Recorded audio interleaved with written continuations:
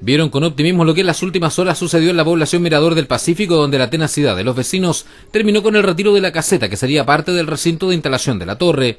En la Viva 9, los vecinos fueron los primeros en alzar la voz hace casi un mes y dieron la alerta al resto de los sectores de la comuna.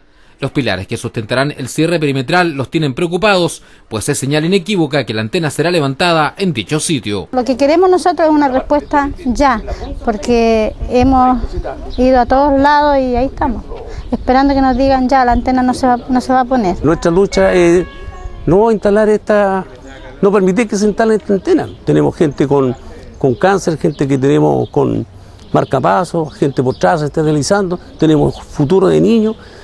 Y todo lo que se está haciendo es por el futuro de nuestros hijos, de nuestros nietos.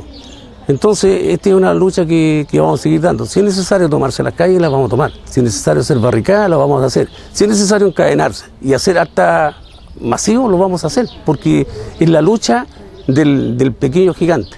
La tarde de este viernes se reunieron con el diputado Víctor Torres, quien fue el primero en acoger el llamado de los vecinos, oficiando al subsecretario de Telecomunicaciones para pedir explicaciones ante los permisos otorgados.